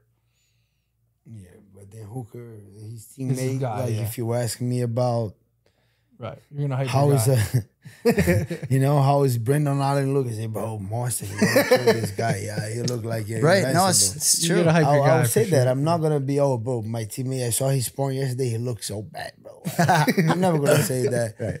Uh, I think it's two points on that fight. I think Adesanya put a lot of weight already thinking about the Pereira as the biggest fight that he can have, like beating Drinkers. That's why he, I think he put a lot of weight Yeah. already, like thinking about Pereira. But I think Drake, bro, I trained with Draco a couple of times. He came before he got to the UFC, he came to the couple camps right here. And that guy is so a very nice guy, amazing guy, but stylistically, bro, so hard to figure that guy out. So awkward. Like he's, he's that kind of guy. like we, I like to time a lot the jabs, and sometimes I boom overhand rise. Sometimes I throw it together. I like to time so. His jab was coming first time that we spar, and then I got out of the jab, and when I was gonna throw, when I came back, I got hit with the jab because it's kind of like and he does that on purpose. He does a different timing. Sometimes he throw a little slow. Sometimes he throws, he step with it. He change stance. He has a great heart and great cardio. And it doesn't Yeah. look like it because sometimes he give a couple deep breaths. You do something Yeah. big. You, you look at him. He's like, and then when you look like that, I But he say, I'm had the gonna, surgery though. yeah. But when he That's looks, good. but I think he's not gonna change. That, No, no, that's- he so but I so- think that's still his thing. He like he Yeah, looks yeah. and he like Dominick Cruz does that too. Dominick Cruz on the middle of his thing, he stops and he but he can go freaking five rounds. So is Drickers. Drickers when he does that, I say, okay, he's tired, let's go. And then he, he's not tired. He keep coming. He keep coming. First round I did it with him, I remember that was years back, but it was hard. And then I couldn't figure that guy out. And then second round, and then nothing. About the fourth, fifth round, I was just like, okay, I kind of got his path. But if you think about fighting, that was on the last round that I Right. figured that guy out. You Yeah. know, so he's super awkward, different style. So yeah. I think I Think- and I'm like you. I I like Adesanya and I I and I would love to to see him fight Pereira again. So I'm Right. big both guys fan, but I think Draco's is gonna be too much. I think Draco's knows how to beat him, knows gotta be on the inside, gotta be kind of like Belal Muhammad against Leon Edwards, mm-hmm. forward pressure, crazy, don't get kicked, go forward, be on his face, take him down, be on his face. Eventually he can break easy. I don't care if he's stronger, I don't care if he hits harder right now. I think Dricus Du Plessis is a is a live dog, and you know what? You know one thing that that a little story that gets that fight even more crazy. You watch that fight Dricus against Sean Strickland, Yeah. back in January in Canada. That mm-hmm. fight was very close. It was Very, absolutely. very close. So me and Hayden were here at the studio, going back till we remember when we bet on shit. Yep. So Hayden had a big bet on Dricus. I had a big bet on Sean, and we're just right next to each other watching the fights the whole time.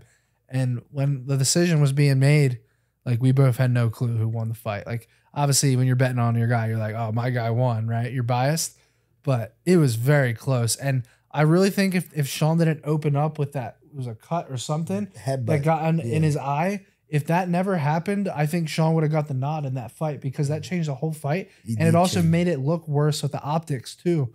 So I just think that changed a lot. But then again, you but also you see what Sean did to Izzy. He could have knocked him out uh, in that first round. He could have knocked Izzy out, and Izzy, you know, Izzy He recovered. though. Yeah, I was there, and then, but the, the in my humble opinion, they should run it back right away because Yeah. that fight was very close. Yeah. And but I think that's why they're making Izzy back because Izzy's a superstar that was kind of like taking his time after the loss. and we got a champion on Sean Strickland that has no filter. That guy go crazy. He says whatever he wants. He pull a gun on people. He go crazy. And it's kind of like awkward to the UFC to have this guy as a champion. The guy we don't know. The guy has no filter. He's gonna go crazy on the couple community. He's gonna say whatever he wants. Yeah. And then on the other side, we have a, a champion sitting down right there. So after that loss, I do believe the UFC think, you know what? You're not gonna put that crazy dude to fight for the title again. Let him sit around a little bit. At the same, If I gotta ask you, if you were used to fight for the title. Yeah. I gotta ask you, Gilbert, if you were put yourself in Sean Strickland's shoes right now today, what would you do? Because that Robert Whitaker fight is there, or do you just sit around and say, "Fuck this"? I, it was a close fight. I got robbed. However he wants to say it. I'm just gonna wait for the title fight. What would you do in his spot right now? He's trying to wait, but You think the UFC's against it though? Yeah, I, I think he's got to keep working like he did. That's why he got. I think he's got to. that's how he got his first. Yeah, it's a good point. shot, Yep. fighting everybody, beating everybody, and eventually he was number seven, I think, when he became a champion. They call him, we got an opportunity. He said, "For sure, I'm going." Boom, went there, and then got the title. I didn't believe he was going to do it. He did. Yeah, Right now, don't stop. You know, especially right now, as crazy as he is, a lot of people identify with him. He has a crazy fan base yeah, crazy. And the cra- crazy thing about him was International Fight Week. We were there, all the fighters. They bring all the fighters. Supposed to be Conor and and Chandler, Right. Yeah. but w- end up being Jiri and and uh, Pereira. I was there doing a couple appearances. And Saturday, I remember was a full day Saturday, and then I had a couple appearances, but I have a little break.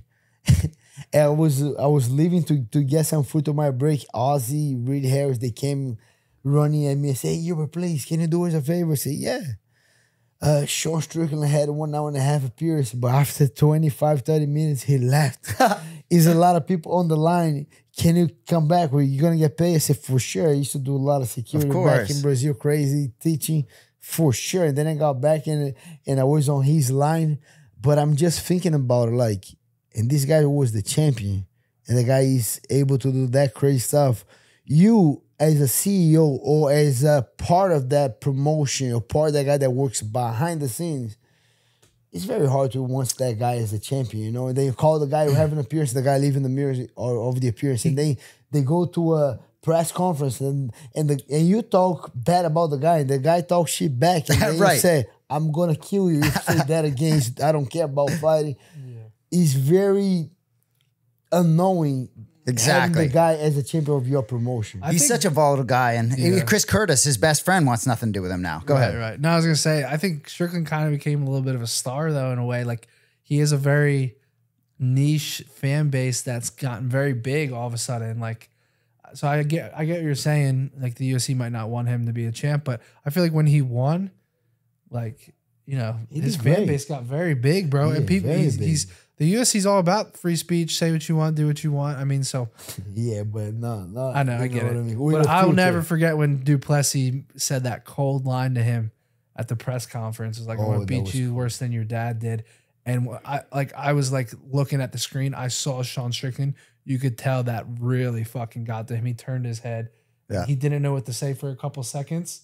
And then he I forget what he said after that. He he was like, I will be, take your soul or I don't know, but you could tell that that one hit home to him, Yeah. bro. You could just tell. So But you know, the UFC 297, the, the split decision with Du Plessis and Strickland, fine. You talk about immediate rematch, but let's not forget the heat on this matchup at 305 while we're all juiced for this. Yeah. Who's going to be the African king, whatever. Yeah. Who's really from Africa, whatever it may be. This, the fact that this matchup came back around, I think is great because you don't always know what you're going to get when these things don't happen. So for me, but if I'm Strickland, it's like, to me, the matchup for Bob Whitaker Uh, who's to say that's a harder or easier matchup than who you might get as champ? So I, I, to your point, Yeah.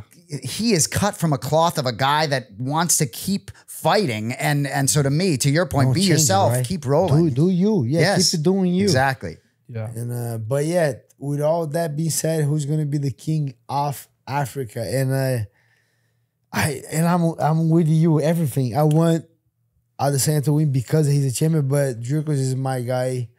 I gotta go with Drew because then I think he's gonna win. If he does the Belal Muhammad strategy, he's gonna win. Like, Yep. Yeah. You know, and uh, with time off, when these fighters have time off, right? All you guys are different, right? You got certain guys you know well. A guy like Brendan Allen, who you know well, who I know works harder now in between fights than he did three, four years ago. I know that for a fact. but you got a guy like Belal Muhammad, who just had 14, 15 months since he fought you to get ready for Leon and Yes. knowing he's getting ready for Leon. ready. So I believe Adesanya regardless of maybe he's on the backside down the mountain of his peak. But I think this time period for him, I think he, we are going to see as good a possible version. Yeah. I can't wait. This and look, This UFC pay per views are always get me excited, but this one is getting Yeah. me excited as few I can remember in a long time. Do you feel like and- the hype has died a little bit though? Like when this fight was supposed to be made like a year ago, like a lot of people are talking about that. Like like a mm. week ago, everyone forgot this fight was even happening. Like obviously we're on fight week now, Yep. but this fight I think has the hype has died a little bit down since Adesanya got in that octagon and got in. You know when Du Plessis beat Whitaker and all that went down.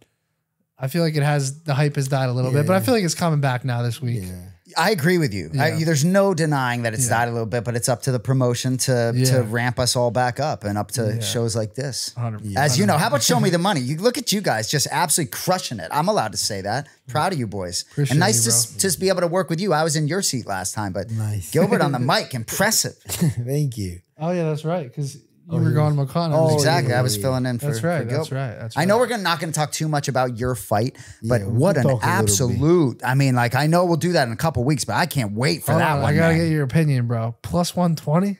Is that the line? The level of disrespect. Is that the line? Plus one twenty. Interesting. And I w- did it open. It opened very close to a pick'em, so it hasn't moved much. I don't I think, think. it opened around. No, it opened with like around that. oh, that's number. okay. Yeah. That's okay. You don't mind the line. You I take a little disrespect. I Don't mean it. anything. bro. Free money. What a fight! Can't wait Yeah. for it, man. I love it. And then, and then I, I kind of, I didn't, I end up losing to to Jack. It didn't look good against Belal. I think that kind of take a little a big thing Yeah. on that. You know, oh okay, Right. let's see last fight. Oh, he didn't look good. Uh, Sean Brady looked very good against Kelvin Gastelum. Yeah. I Uh, hit on that round three sub, by the way. Oh, you did, huh? oh, you hit that one. Yeah, you hit that one. hit that one. Yeah. I had round two, three. I sprinkled But- round two, three. But I'm excited. Okay, so- The only thing is gonna be in the Apex. We talk a little bit before the the party. Sometimes a little uh, sold out. Everybody asking me, "How can I get a ticket?" Yeah. He's asking, "How yeah, can I get yeah. a ticket?" I It's gonna be crazy. telling you I that event. bro. So 25 footer, right? How does that uh, 25 foot octagon versus the 30 Yeah. footer? Does that mean I much like- to you? I love it. I love it. I like. Yeah. It. I like it because we're gonna be. Yeah, right there. Yeah, for his game, for my game, he, he gets everything to be a nice fight because he, we both grapplers, we both can strike, so we're gonna be on each other's face. No crowd, not too loud. I can hear his coach. I can hear my coach. Yeah. The thing with the Apex, I'm a big arena guy. I love the the Of sold out arena. you're beloved by the I fan love, base. I love, yes. but the intimacy that we do have the Apex, hitting the guy and hear that, oh, oh, like you know Yeah. is better. Like he's seeing the coaches screaming at the guy, do this, do oh okay, they don't like when I'm doing this. So he- he- like that thing for me, I like that intimacy like very, very much. More Yeah. raw street fights back in the 80s that like just you and the guy and then like let's go. Like no crowd and we're gonna stay here until one guy quit. I, I like that that that mentality They're like, okay, who's gonna quit? I'm not gonna quit, bro. Let's go. And Yeah. I I just that Yeah, intimacy of I'm fighting, I like very much. Yep. I can't wait for that fight, bro. All right, we gotta before we move on from the the three or five card, we gotta give a pick for the show. Okay. So here's what we do, Jason. Talk every to show now, we just every person in the room just gives one pick that in their mind is Push, not losing. So it can be very conservative. It can be over one and a half rounds. It can be a minus three hundred favorite. It can be a fight to not go the distance. It can be literally anything you I- want. And we're gonna go put it together as a three leg parlay. I'll let Gilbert go with the Let me first go leg. first. Uh, I'm I was going Game Raw, but he might eat a knee on the way. so and that might go out of the way. But one guy, in my opinion, one guy that's not losing these fight these Sunday in Australia. Here Saturday night is gonna be Steve Erceg. I knew you. I knew you. that guy is not. Okay. the- I was Uh, going Mateusz Game Raw, but Yeah. Dan Hooker, he's a dog. And then Mateusz, he goes down so much, he might. I don't think it's happening, but he might eat a knee on the way in. So I'm not Yeah. taking Mateusz Game Raw. I'm taking Steven Erceg. All right, so leg number one on Fliff. Remember, guys, you guys can tail this on the YouTube description right now. Fliff will give you $25 in free coins to get some action with. Code show me, S H O W M E, or just click the link in the description. Leg number one, Gilbert is locking in Steve Erceg at minus 180. I'm going to go to Jason for leg number two. So this isn't going to be my second leg, but I absolutely love Herbert Burns plus 550. Let's go, HB. Let's go. Let's go. um, isn't it amazing how much we all love Steve Erceg? It's like I hope Kai Kara-France, you know, bulletin board material. I hope he sees this, you know, because. But I'm with you, dude. It's like I can't envision waking He's up too- Sunday morning with Steve Erceg having lost that fight. Yeah. can't He's see it. So that was certainly going to be one of mine. You know, and I hear you on Mateusz Gamrot. It's also not going to give too much juice to your parlay, which I want to juice it. So I'm going to go with the main event not to go the distance. Okay. I I just, with even if it's Izzy, I just, I, I don't think we're seeing 25 minutes. Yeah. I don't think we're seeing 25 So minutes. leg number two, Adesanya versus Du Plessis on the Fliff app. Fight to not go the distance, minus 155. okay, so That's that's on me for leg number three. Now I got to ask you guys: Can I go with a little riskier of a of a play, or should I just go with something that I know is not losing? No, you gotta go for sure. The one that's not losing. So those so you guys- guys I are one wanted and to go, one. I wanted to go with uh with Walker at plus one hundred five. Oh yeah, go to the Walker. Dude, I like You that. like so it? Go with the Walker. yeah. your first parlay was better. Was was the, the odds last week was almost even money, right, or close to with It your was parlay. closer. But yeah, but the first week- one was three to one, basically. Right. We hit that one. Exactly. The second one was, that, was that harder. card. Yeah, so you need to throw Yeah. throw big.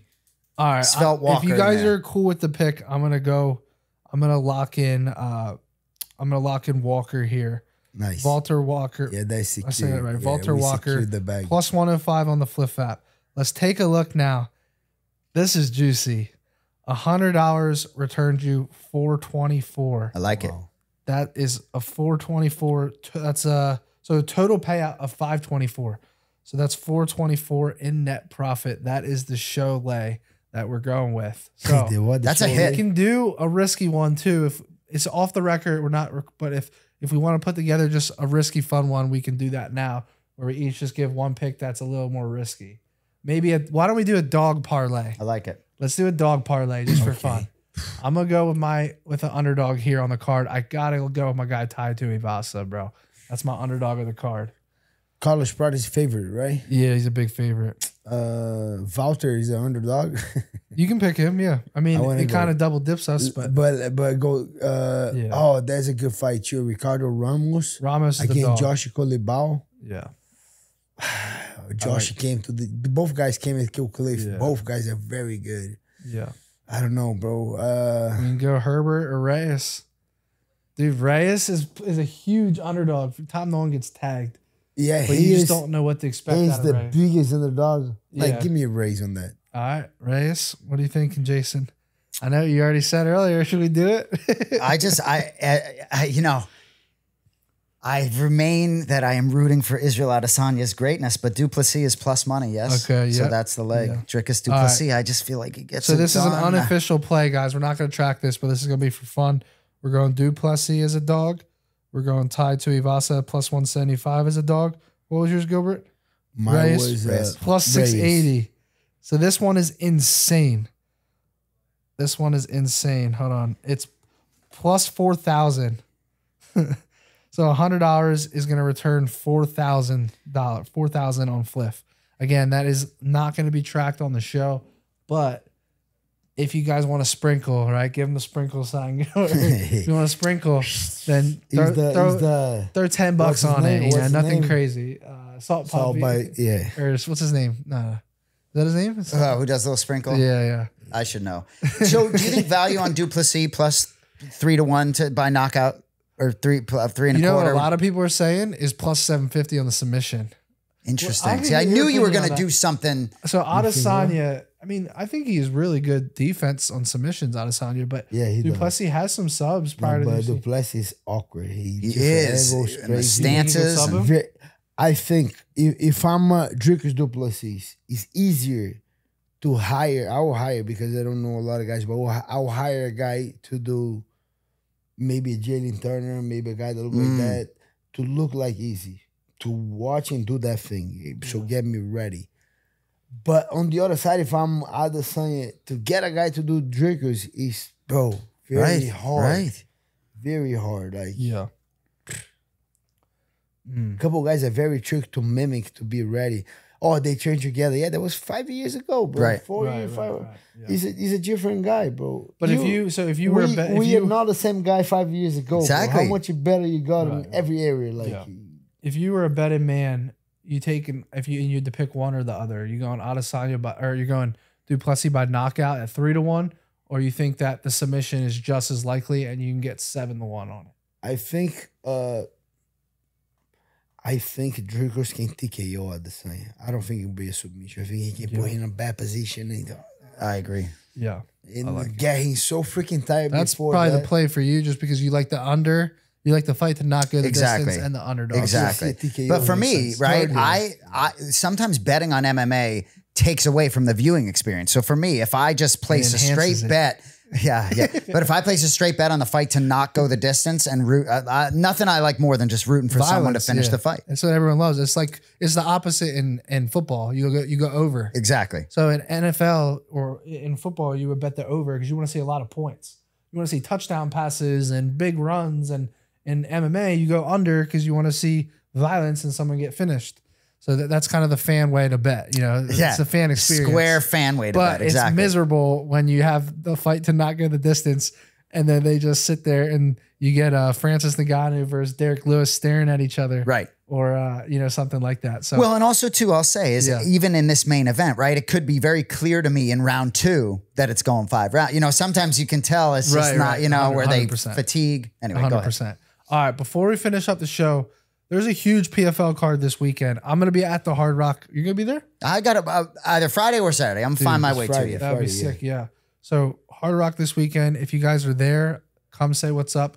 Hollywood Hard Rock in uh, Fort Lauderdale, Miami area. Um, the PFL card is Friday night. I want to run through a few of these fights. Kyle, if you can put up the the PFL card, not the doc, but the I actual gotta- card. yeah, I, I know. I, know. I- Gilbert's already gonna pick right there. I for sure I might gotta I might go, but if I go, I'm just go there in and out because you guys know I'm in training camp. Saturday we got a crazy Yeah. circuit in the morning. I gotta be rested up and ready for that. But if I go, I didn't decide that I got tickets. I go to support my guy Impa Kasanganay. Yes. This guy is a monster. He's a lock. He's, a five to one favorite. Yeah. Who we said is not losing, or Sag is not losing. Who was the other one we said? Uh, I put in, in, in our parlay, I put in the main event not to go five rounds. These Yeah. guys not losing 100%. They Yeah. fought each other. So this is a Moicano ten thousand dollar bet. and Joshua Silveira is a very tough dude and very nice guy. I, I, he, he's dad Connor is a little, uh, he's a little like Yeah. chew, like a head coach, so he kind of keep it very, don't talk much, you know. Uh, uh, Mhm. But he says a very nice dude. I like this guy Joshua Silveira very much, but he just fighting a freaking monster. In I have no idea how this guy was making 170 because he's like two Huge. 215 lean, maybe Yeah. 3% body fat, Yeah. a monster, explosive, hits hard. And he's and the, the best thing about this guy, he's so humble and the guy works extremely hard. Yeah. Like, you know, this guy that's just hungry to learn. He's couple guys, they work very hard, but they not let me get the right word, but they're not as humble to learn Yeah. these guys speaking everyone's brain. Hey, what are you thinking? And doing extra working. What do you coach? He finish and he, he records all his points. Hey, what do you think about this? You should do this. And then these guys that shadow boxing that move Yeah. like 300 times after training, gets before, helps so many guys. That's a What did you think? So Impa versus Johnny Eblen fight. I had a oh. big bet on Johnny Eblen, and I had to sweat the him. shit out of that because he was like a That three to one favorite. I think Johnny. I think won. Impa might have arguably won I think fight. Johnny won. it was very close. Super close, but it's those losses that this guy just go to a different level. You know, Yeah. you see like couple guys not hating on anyone, but remember when Paulo Costa was on the tearing, coming very crazy. Then he lost to Adesanya. And then he show up to fight Marvin Vettori, super big, and they changed the Yep. weight, and, and then he lost it again. He wasn't on that, but you see a couple guys that they lost one fight. Like remember Robbie Lawler when he lost to Johny Hendricks. Look at Whittaker right Yeah. now. Look at Whittaker. Oh, Whittaker, Whittaker loses the DDP, and now look There at you go. Yeah. But remember Robbie Lawler? I think he lost to, to Johny Hendricks, and then he came back knocking everyone out, and then he beat Johny Hendricks, and then he fought Rory MacDonald. Bro, this guy he just got better after Yeah. that loss to Johnny Eblen. He changed. To, he got even better. He's got and what he got knocked out back in the day, Joaquin Buckley on that, right? And look at Buckley. now he's a champ and million bucks. seventy. How come Yeah. that guy? I, right there, you go. Exactly. yeah. What do you like? What do you think about this one? Anything here? Uh, when the guy his name finished with a dove, a dove, my dove. All right, so You gotta the bet on OV these and the end of the last. Then what about here? That you same thing. When they finish with my right, dove, a dove. I want your opinion on this Collard fight because I- Collard's a small dog here. Yeah, that's a tough fight because Primus might grapple him, and then if Primus is able to take him down, Yeah. he changes the fight. But I like Collard striking, movement, angles. I think Oh, I got to get your fight. Go up to the Sabatello fight. So Pat Downey texted Oh. me. Sabatello is a monster. I know, but he said that. Am I saying this right? Day run? How do you say it? Dayron, I Cuban guy? Eight, I think he's eight and zero. He said that this dude's like he's like a five to one underdog here. He's like plus five hundred. He said that he's pulling off the upset here. Oh yeah. Oh, that guy. That's enough for Matty Betss to pull the trigger. You can that be guy sure. Sabatello is good. He I used to know. be on the Bellator like a monster, but I like Sabatello a lot. But I don't So know this the other dude's eight and zero from Florida. That guy's winning for sure too. That Gian, the guy on the left, yeah, he's winning for sure. Yeah. Um. Okay. Well, I, I do want. I want you to check out this guy though, Lazaro Dayron, Cuban, eight and zero, choking dudes out, TKOs. Like, uh, I, I don't know. It might be enough for me to sprinkle. Sabatel is really good though. So I got a quick question for Yeah, you, right? yeah. You've gotten to know a lot of these fighters, right? And my Yeah. guess is last time Gilbert fought in March, you probably didn't know him nearly as well as you know him now. Is that safe to say? So oh, when he Oh, fights on September 7th, Yeah. for you, that's definitely going to be the dude that you are closest with making that walk, Oh, right? for sure. It's going to be a different experience for you, I think. I Well, don't even just- have a question. I just but experienced it with Moicano, Jalen Turner. Now I put 10k on Moicano as a dog. I'm very inclined to do the same thing on Gilbert. I'm I hear you. It's around Well- the same number too. I mean, Moicano was a little bit bigger of a dog. so are you flying out there or what? I want, yeah. You just- we need get- to open up that I- apex a little even bit. if I to- even if I can't get tickets, I'm still gonna fly out there and go to Vegas and figure it out. to find the tickets. Yeah. we're We'll gonna figure it call. We need to just do a little home of fight support. Yeah. Just find our way out there, you know? Yeah. We're gonna call 100%. Ali. to Yeah, there you go. Exactly. That'd be high. Ali, I need tickets, bro. Please try to see Gilbert get that round two TKO. That's what I'm betting on, by the way. I like that. Round two TKO. Two, I like that. two, three TKO. That's what I like. All right. Like, subscribe. We got to wrap up here. Jason, appreciate you, bro, for coming. Thank you, on. boys. Anytime.